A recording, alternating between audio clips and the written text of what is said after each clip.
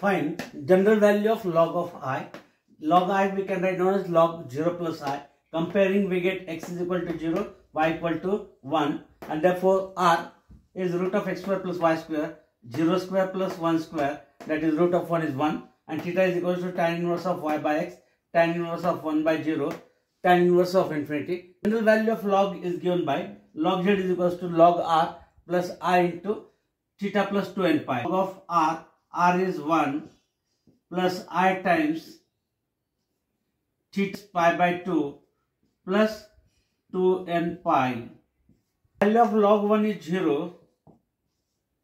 i times common we get 2n plus 1 by 2 times pi and that is i times 2n plus 1 by 2 times pi. Thanks for watching.